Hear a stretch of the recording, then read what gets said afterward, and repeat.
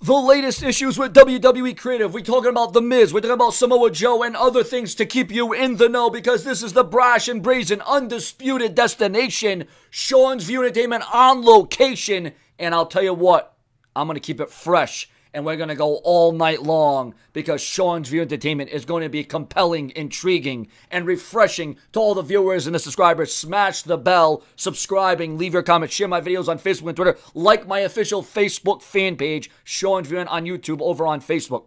There is a feeling, and we're going to go dive right into this. Right, right off the top, we're going to talk about the main topics, the main rumors, news, speculation, gossip, hearsay, whatever it is. We're here all day. That's why it's very important to refresh, share, subscribe, and smash the bell. Turn on all notifications. There is a feeling that if it was not for the likes, and I love how they say the likes, of part timers like the undisputed reigning champion Brock Lesnar and Bill Goldberg, who we also know won the Universal Championship, taking over the spotlight of Raw's top championship being the Universal title, that The Miz would be in the main event. And one source goes further to say that The Miz would actually be the Universal Champion, no questions about it. Wow.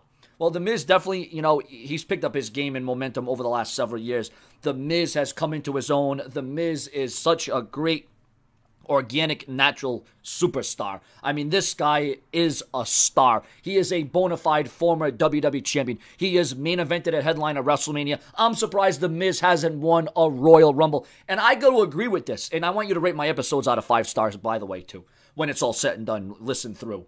Um, but the bottom line is the the Miz when he first came on, you know, people looked over him. He was overshadowed. But I'll tell you what, the Miz is such a fine wine. He only improves with age, and what a great mix the Miz is. And you know what, the Miz probably would be the Universal Champion. So I can kind of agree with if Brock Lesnar and Goldberg and other guys weren't like weren't there. Really, when you look at it, the Miz always maximizes his performance. The Miz is intelligent. The Miz is on, and the Miz always shows through. There's no doubt about it. What is the latest on WWE Creative? What is the latest on Samoa Joe? We're going to dive into that right now to keep you once again in the know.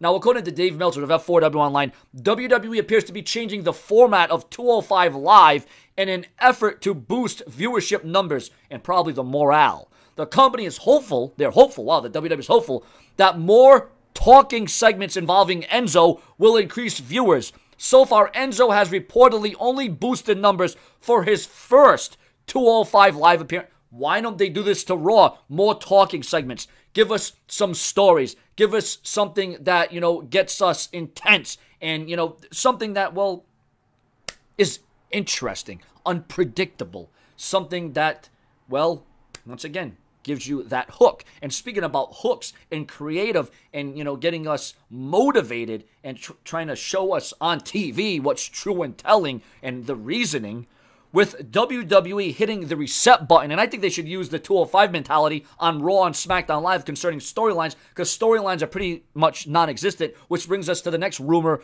in the WWE. With the WWE hitting the reset button in the past and WWE creative changing their mind, uh, the question from those in the know say, change what? What reset button? Why do we even need a creative team when WWE just puts forth wrestling matches circa 1975. What situation is creative even needed in in 2017? And how are these guys, and, and, and how is it so complicated on them? Where is the story? Where is the hook? What reason are these two guys wrestling one another? Right now, about the only interesting storyline going on is the Shane McMahon Kevin Owens angle. And, well, wouldn't you know, it's a McMahon that's featured in a storyline. But what about the four other hours of wrestling during the week, not including 205 Live and NXT? Once again, I agree. Where's the stories? What you know, WWE. You know, you, you can't just have it about wrestling. It's called World Wrestling Entertainment. Where is the entertainment value? Once again, I got to agree. Is Enzo helping 205 Live? Potentially, perhaps. But what about Samoa Joe? Viewers and subscribers, Samoa Joe says the recovery's going the recovery for him is going really well, and he's but he's only been able to perform at about 80% uh, capacity since joining NXT. Joe continued, back then I had no chance uh, to take time off because of the WWE opportunity. Before I was just treating the knee problem with ice and uh, uh, elevation at home. See, that's what the thing with these guys, you know, not just a Samoa Joe problem, but when you have an opportunity, when you have a chance, and you're dealing with nagging injuries or something that you probably should do, but when the WWE calls you and you got to show through and you got to do your thing and you got to, you know even though you're maybe incapacitated, maybe you're not 100%, you got to put forth your best effort because you never know when you're going to get that chance or opportunity, especially when they had Samoa Joe competing at such a high level. They had Samoa Joe against the Universal Champion Brock Lesnar, the same Universal Champion that many feel that The Miz should be the Universal Champion. Once again, for, for guys like Goldberg and Brock Lesnar, but viewers and subscribers to ensure that you get the latest rumors, news, headlines, updates, developments, and changes up to the moment.